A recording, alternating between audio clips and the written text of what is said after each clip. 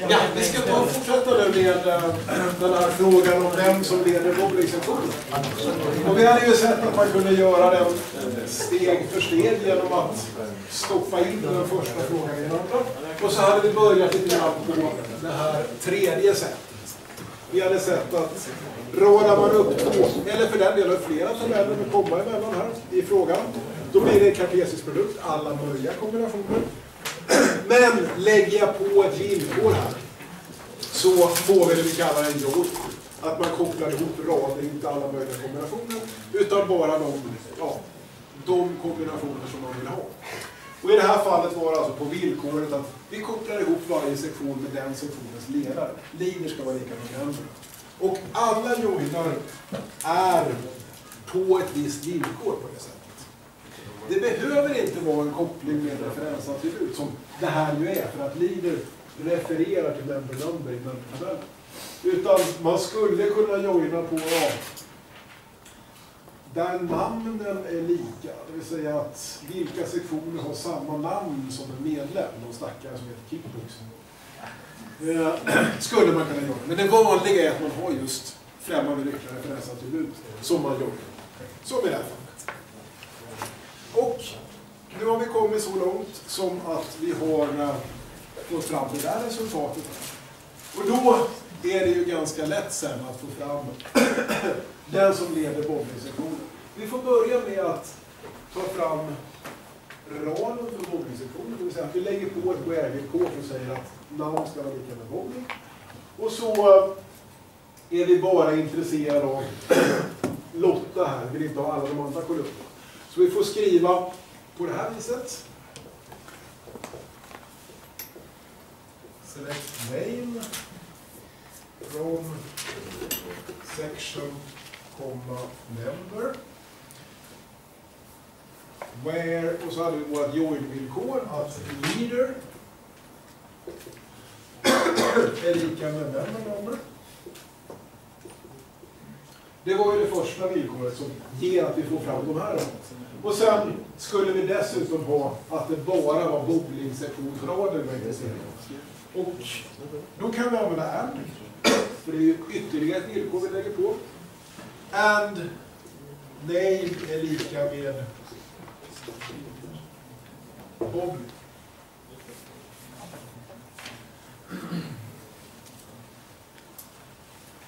Och tanken är alltså att vi vill ha fram enbart den här rutan i tabellen.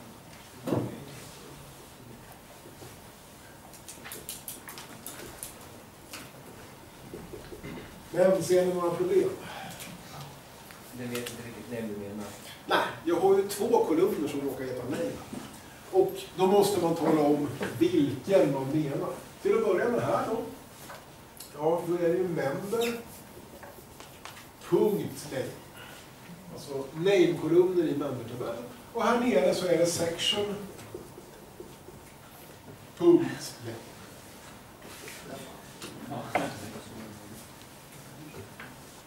Och eh, vill man att det där ska synas i resultaten här också så kan man ge alias till kolumner. As eh, medlemsnamn till exempel. Och då kommer ju den här kolumnen i resultatet där att heta medlemsnamn. Och på samma sätt som man kan ge alias till eh, kolumner på det viset så kan man även ge alias till tabeller. Jag kan till exempel skriva as n på member och då kan jag då skriva n.name istället för eh, member.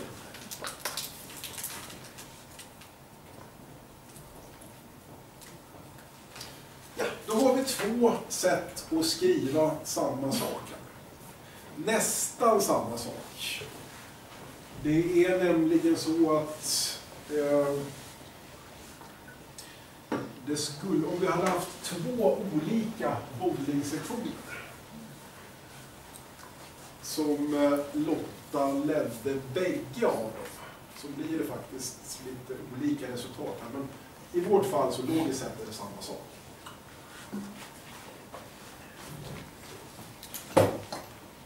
Ja, vilken är bäst av de här?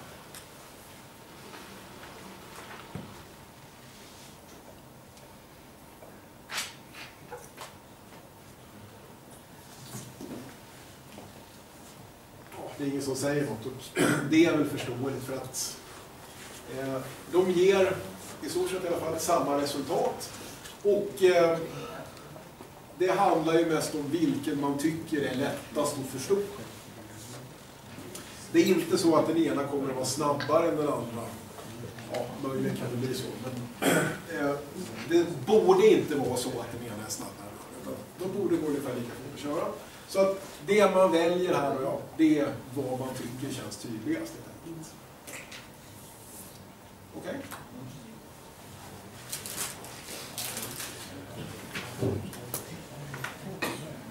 Nästa sak efter den här frågan om vem som leder bowlingsektionen, det är vilka sektioner deltar Olle i? Eller vad sportar Olle, skulle man kunna säga. Och ja, vad är svaret på det? Vad sportar Olle för någonting?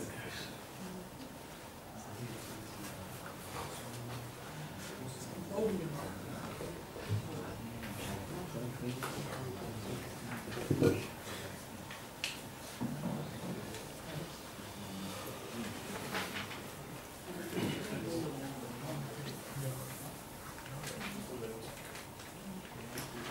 hur får man fram vad Olle sportar för någonting? Jo, man börjar med att titta på Olle.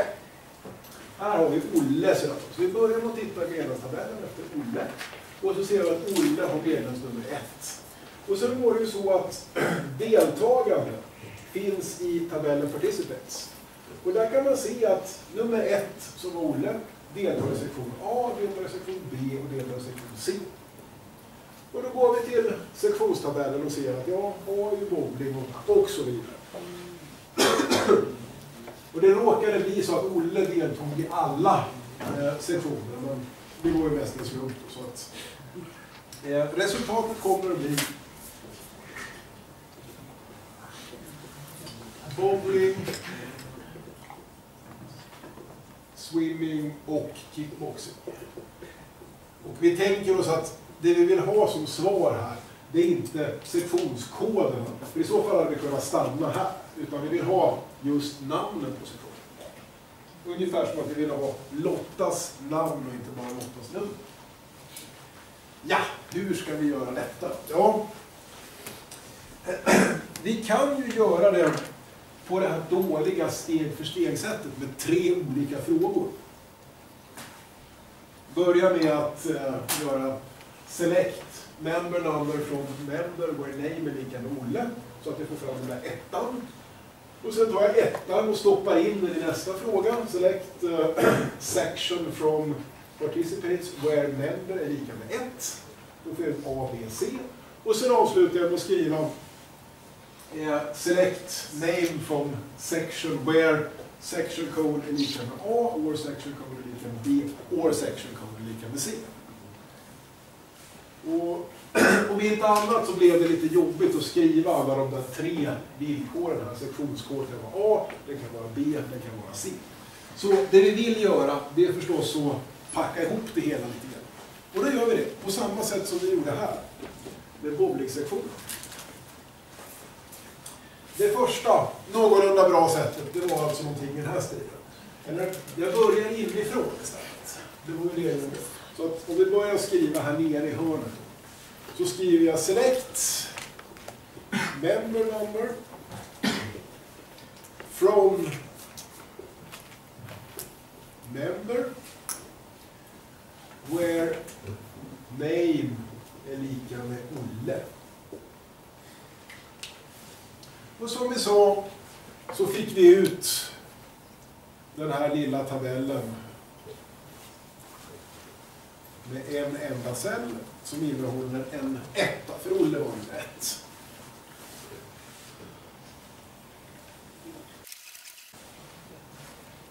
Och sen när vi har gjort det så tar vi inte och skriver en ny fråga och stoppar in den rätta i den, utan vi tar och skriver en ny fråga och stoppar in den här frågan inom parentesen i den frågan. Så att typ någonstans på mitten så börjar jag skriva select. Och nu är vi i participants-tabellen. Så jag skriver select section. From participates. Where, nu ska jag få plats, member är lika med. Och den förra frågan.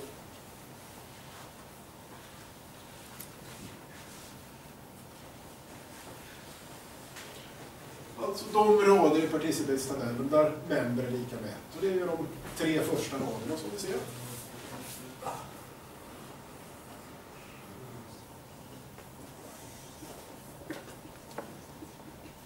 Section A, B och C.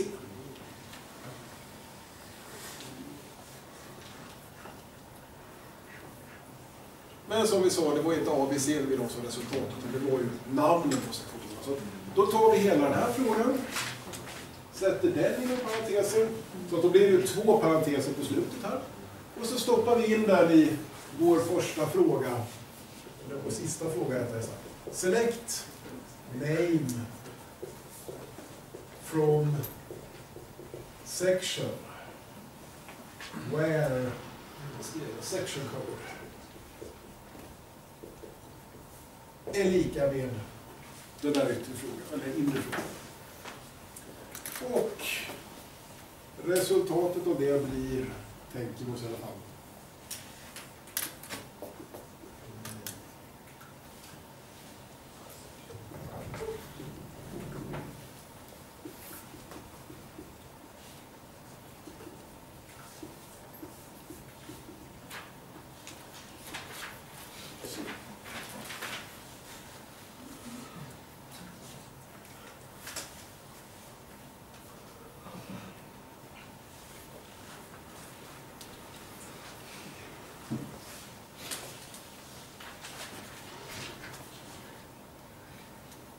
Nästan i alla fall.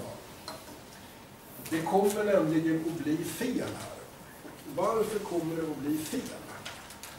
Jo, det har att göra med det här delresultatet. Det är ju så att det är tre stycken sektionskoder som kommer ut ur den här inre frågan, mellanfrågan så kallar så att här så håller jag på att jämföra en sektionskod för en rad i sektionstabellen med tre olika. Och det kommer att ge ett fel. Det är faktiskt så att det blir fel även om vi hade haft eh, två medlemmar som hette Olle. För att frågan som vi har jobbat med det är egentligen inte vad sportar Olle utan vad är namnen på de sektioner där någon medlem som heter Olle deltar? Så har vi flera Olle så skulle vi få ut flera medlemsnummer. Och då skulle det bli fel på den här jämförelsen med likhetstecken också. Så att egentligen, när man jämför med en resu ett resultat från en inre fråga, och man inte är helt säker på att det verkligen bara blir ett, en enda cell som kommer ut, så ska man inte använda lika med, utan man ska skriva in.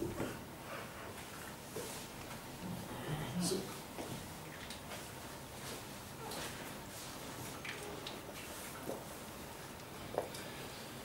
Man kan nämligen skriva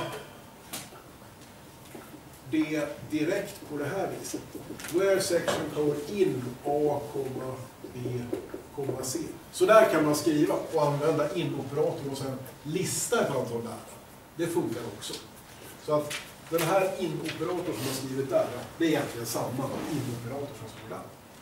Det är bara att vi jämför med en fråga istället. Okej? Okay? Nu funkar det. Och notera nu att här blir det inga konstigheter med att det finns en kolumn name i två olika tabeller. Både här uppe i member-tabellen och i eh, section-tabellen.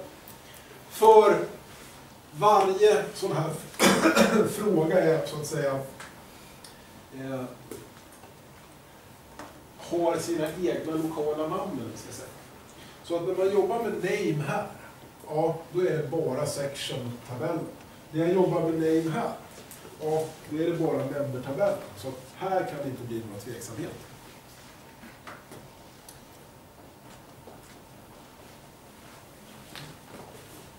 Okej?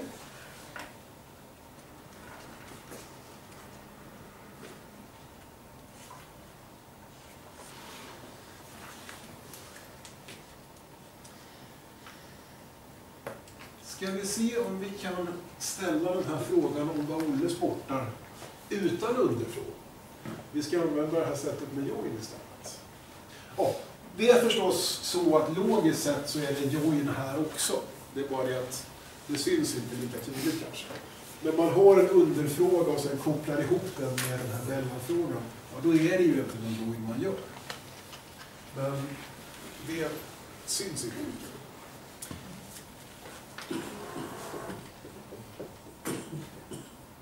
Alternativt. Ja, hur ska jag skriva då?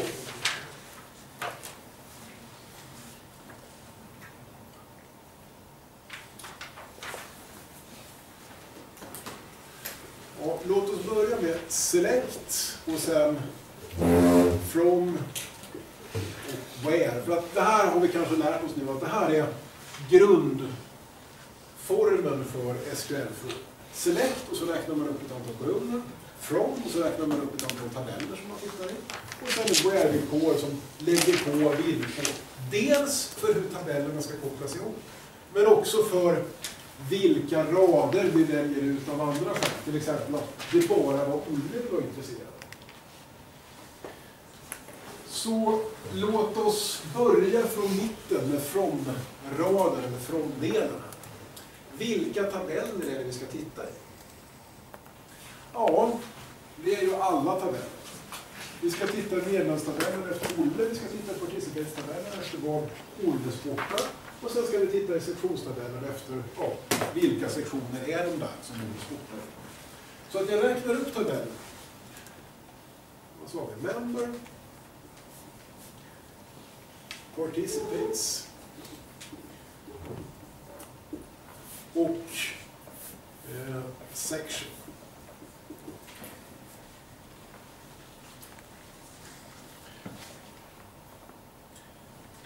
Och eh, om jag bara säger sådär och inte har något where-villkor, ja, då får vi just den här kartesiska produkten. Alla kombinationer som går att göra. Och i det här fallet så kommer det att bli 4 gånger 3 gånger 5, det vill säga 60 rader om jag räknar. Men det var vi ju inte intresserade av, utan det vi vill göra här, det är att joina ihop de rader som passar ihop. Först medlemstabellens intressanta, ja, Olle eller i och för sig alla. Eh, vi joinar ihop varje medlem med de rader i deltagartabellen som gäller den medlemmen. Alltså, member number ska vara lika med member. Så att vi kopplar upp Olle med rad 1, Olle med rad 2, Olle med rad 3, nummer 2 Stina med den här raden med en tvåa på och Saddam med raden som det står 3. Så jag lägger på det som ett where-villkor. Where, vad sa vi? Member number. är lika med, och så står det member i tabellen där nere. Då kan man ju undra, blir det någon namnkonflikt här eftersom vi har en tabell som heter nummer och en kolumn som heter nummer? Men nej, det gör det inte för att här så kan det bara vara ett kolumnnamn, här kan det bara vara ett tabellnamn. Så att där blir det inga konstigheter. Det var den första joinen. Men sen behöver vi en join till. För vi ska ju joina ihop med sektionstabellen. Vi har kopplat ihop rollen i medlemstabellen med de rader i participationstabellen som hör ihop för varje medlem. Då ska vi koppla ihop sektionstabellen med de sektioner som står här i sektionskolumnen. Alltså villkoret är att section här ska vara lika med section code.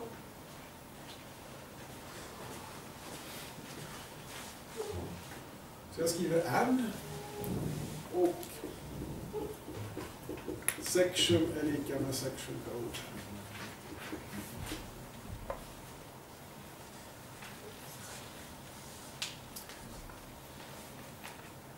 Då kommer jag att få en snygg, ett snyggt resultat här som kopplar ihop medlemmarna med varje medlems deltagarrad och sen på slutet respektive deltagarrads sektion som den är ihop med. A hör ihop med bowlingsektionen, B med kickboxsektionen och så vidare. Nu har vi kommit ganska långt, men det var ju en grej till. Det var inte alla medlemmar vi var intresserade av, det var ju bara just Olle. Så vi lägger på villkoret att medlemsnamnet ska vara Olle.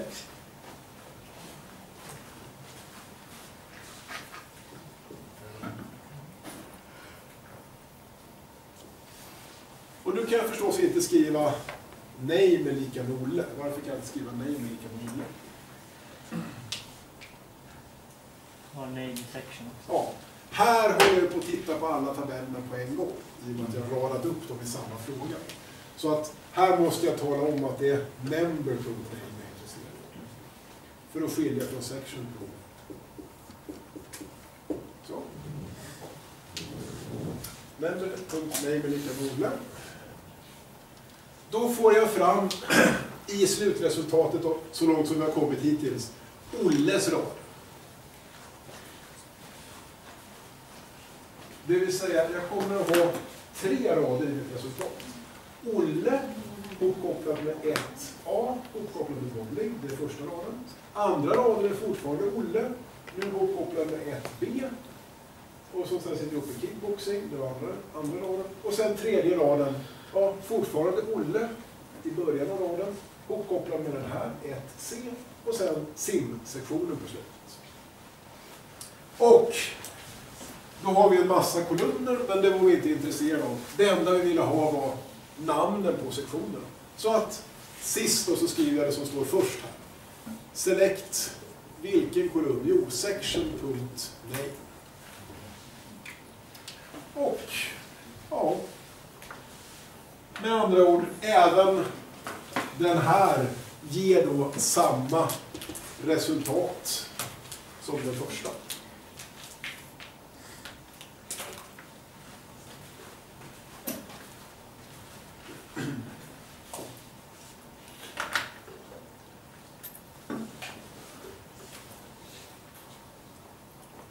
Kommentarer på det?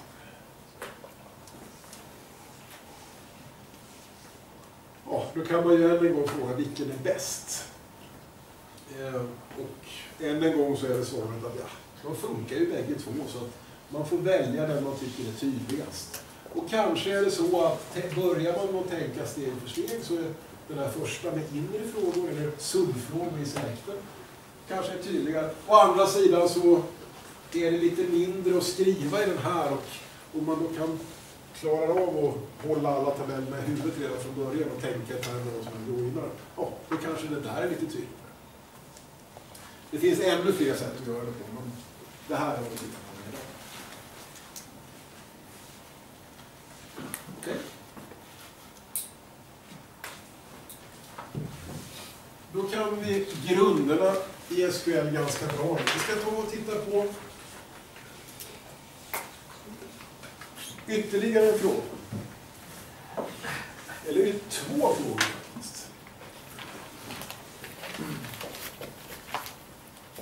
Vilka sportar alls? Det är den första frågan. Och tittar man nu i participants-tabellen så ser man att medlem 1, 2 och 3 deltar i någonting. Men nummer 4, Lotta, har inte tid att sporta. Det kanske är för att Lotta är ledare för så mycket sånt. Så att vilka sportar ska vara alltså Stina, Saddam och Olle?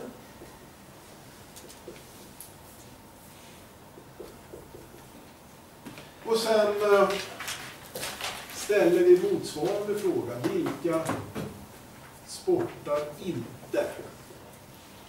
Och då är det ju som sagt Lotta som blir svaret på. Och det ska vi skriva som vi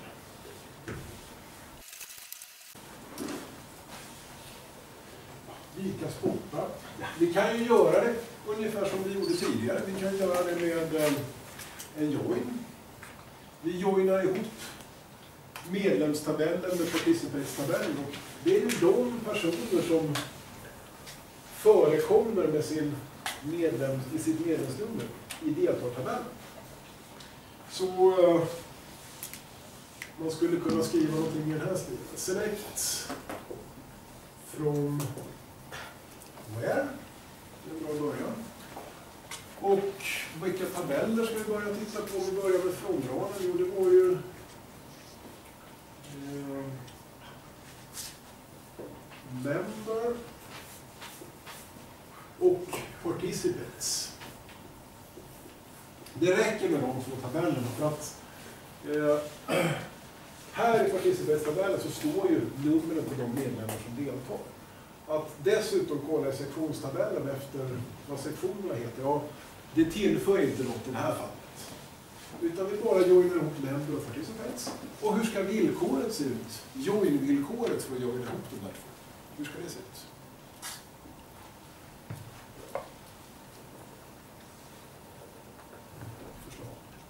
Number med member. Ja. Member number lika med och det är inget fel att skriva participates punkt member number lika med eh, fel. Member punkt member number lika med participates punkt med. Det är bara onödigt tydligt om det går ut. Då får jag fram varje medlem, kombinerar ihop med alla de rader som den medlemmen sportar. Så att Olle kommer att förekomma tre gånger. Och koppla med den raden, den raden, den raden. Och sen förekommer nummer tre, två Stina och nummer tre sallad en gång var. Och vart tog Lotta vägen där? Ja, Lotta försvann. För att en join går ut på att koppla ihop rader som passar ihop. Och om man har rader i en tabell som inte går att passa ihop med någon, med någon rad i en annan tabell, ja, då försvinner de. Så Lotta är borta. Och vad är det sista jag ska göra? Jo, jag ska skriva eh, name. För att få fram bara kolumnen med namn. Och vad blir resultatet av det? Jo, jag har ju fem rader nu i join-resultatet. Den Olle-raden, den Olle-raden, den Olle-raden, den stilaraden och den salladraden. Så resultatet kommer att se ut så här. Olle, Olle, Olle. Och sen, eh, vad hade vi, nummer två, Stina. Och nummer tre, saft. Och det där eh, kanske var lite onödigt av det Olle flera gånger. Så eh, då kan man ta bort dubbletter. Jag skriver select distinct name. Så. Och då försvinner dubbletterna på det här viset.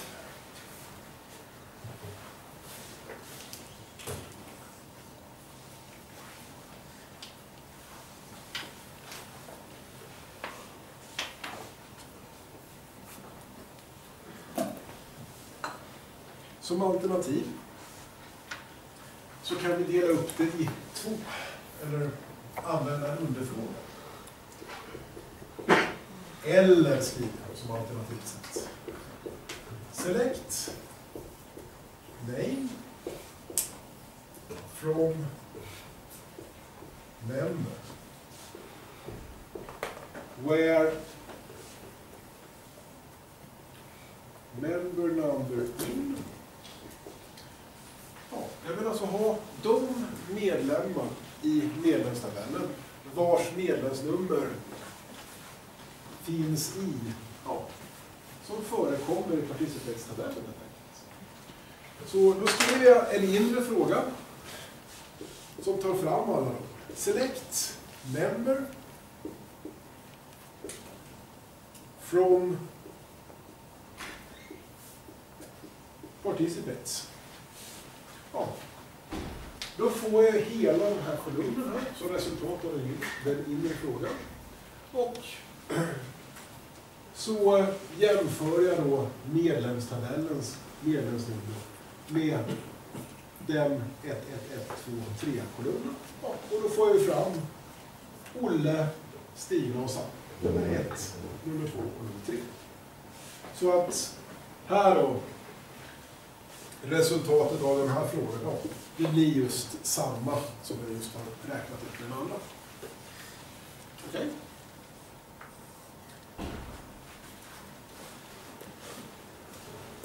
Hur kan vi på enklaste sätt nu svara även på den andra frågan? Vilka sportar inte?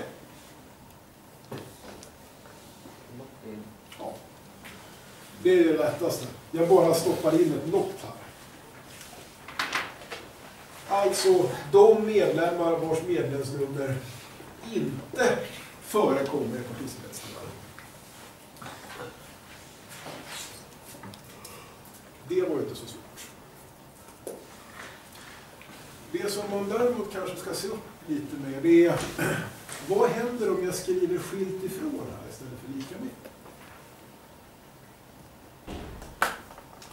Det vill säga om jag byter ut det här likhetstecknet mot skilt ifrån som i de flesta databashanterare kan skrivas antingen sådär som i de flesta programmeringsspråk eller sådär som är standardsättet.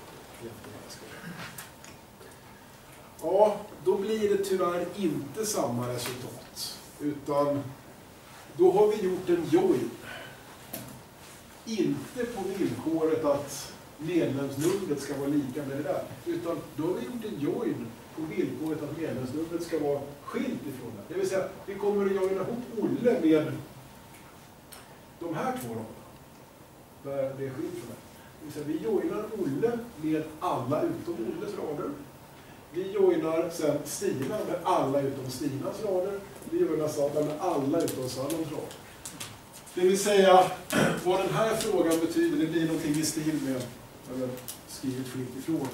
Eh, vilka är det som, vilka medlemmar är det som eh, det finns någon annan medlem som sportar istället för dem? Ja, det var inte riktigt vad jag hade tänkt så att här är det ju den här varianten med not in vi bör välja. Okej? Då har vi hittills tittat egentligen på en massa olika sätt att jobba med enskilda rutor i tabellen. För det är hela tiden en ruta här som jämför med en ruta där. Men vi kan även göra sådana saker som att titta på en hel kolumnåtgång. Och då har vi något som vi kallar för aggregatfunktion.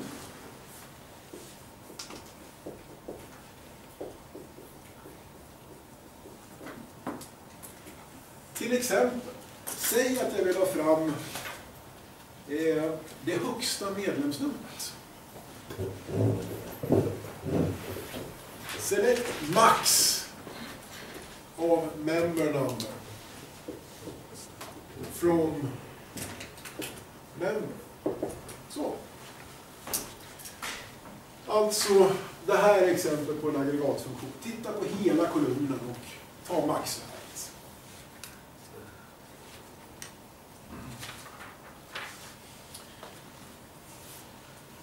Man kan eh, summera.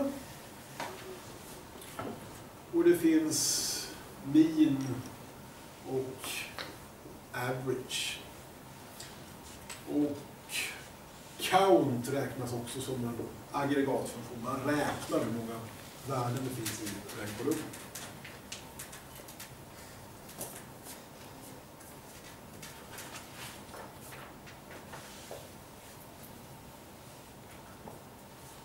Vi kommer att titta mer på det här sen i föreläsningen om mer avancerade. Låt oss göra en grej dock. Säg att vi vill ha fram namnet på den medlem som har högst medlemsnummer.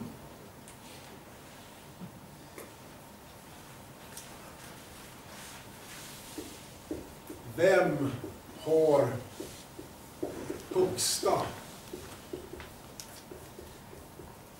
medlemsnumret? Och svaret på det är ja. Vad är svaret?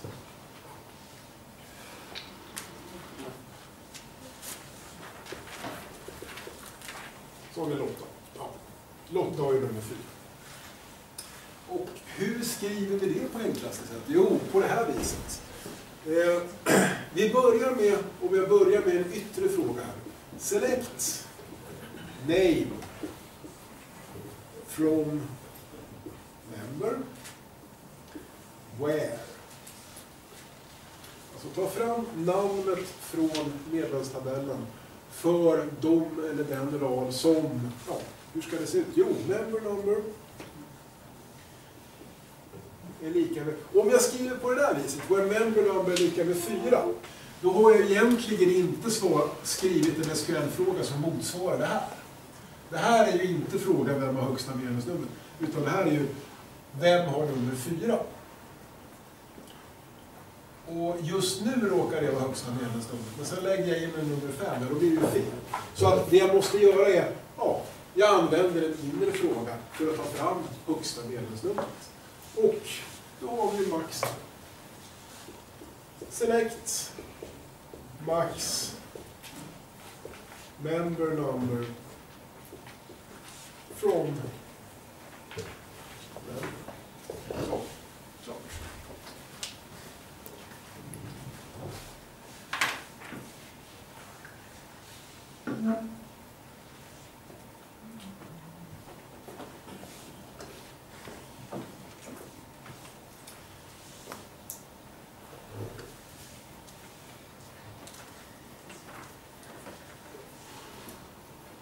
När vi hade vår allra första föreläsning om databaser så nämnde jag vyer.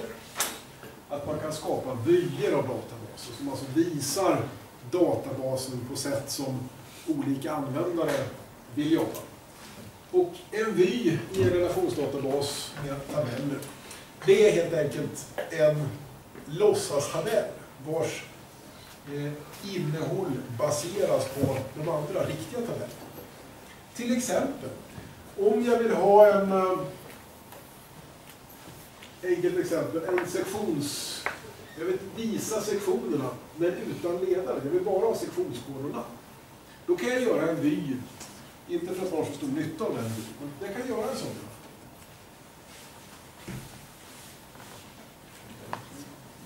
Jag skriver uh, create view och sen ska jag kalla vy någonting. Sektioner kanske. As select. Och sen får jag skriva då en select-fråga som motsvarar den. Och hur ser den ut? Jo, den ser ut select section code. Komma name. From sections. Ja, när jag har skrivit sådär, då har jag skapat den här bilden. Och det smarta är nu att för mig som jobbar med SQL så ser det ut som att det finns en tabell som heter sektioner. Alltså inte section... Eh, sektioner. Så att om jag skriver select stjärna från sektioner på det här viset. Ja, då får jag ut ett svar med eh, section code och name. Och vad är det jag får ut? Jo, det är ju A, B, C. Bowling, kickboxing och swimming.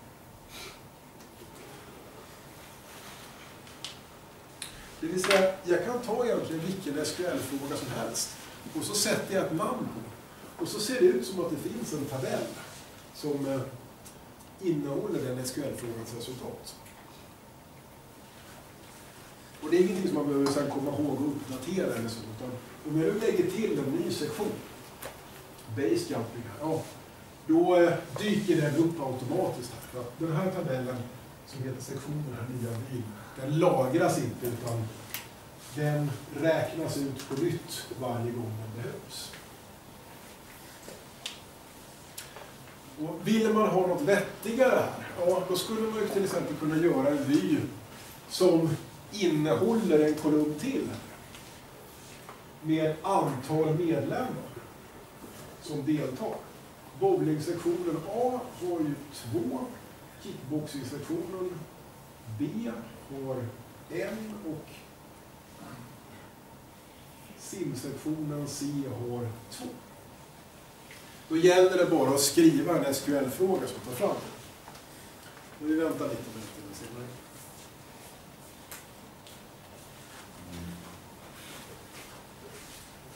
Och innan vi slutar så ska jag bara räkna upp de, de eh, SQL-kommandon som man använder för att lägga in och ändra data. För select används för att söka i data.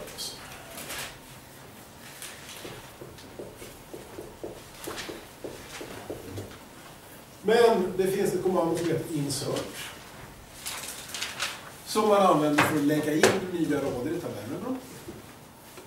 Det finns ett kommando som heter delete. För att ta bort rader.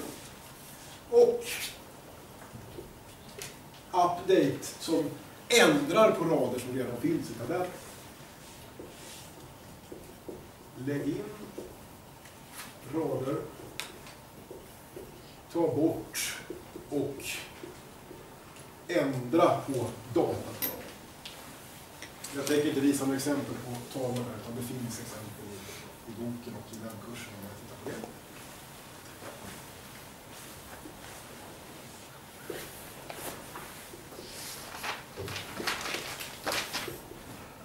Sen eh, ritar jag några andra kommandona. Create table.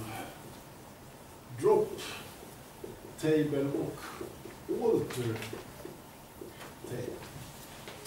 De där, ja, uppenbarligen så används de för att skapa nya tabeller, för att ta bort tabeller som finns och för att ändra på tabeller. Och det jag vill ha, eh, vara lite tydlig med här, och det är att skilj på att ändra och jobba med data, som vi har här, insert delete och så vidare, och att ändra och jobba med schemat som vi har här nere, att ändra på själva tabellen. Eller ta bort det.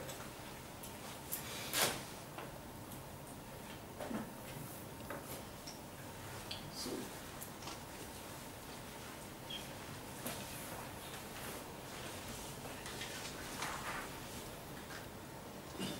Och eftersom det slutar nu så får ni kolla på Create Table och eh, hur syntaxen ser ut där. För där, det är Create Table som man använder för att skapa tabeller. Tala om vad kolumnerna ska heta, vad de ska ha för datatyper, char, och så vidare. Och eventuella främmande nycklar och primärnycklar och andra nycklar. Okej? Slipper.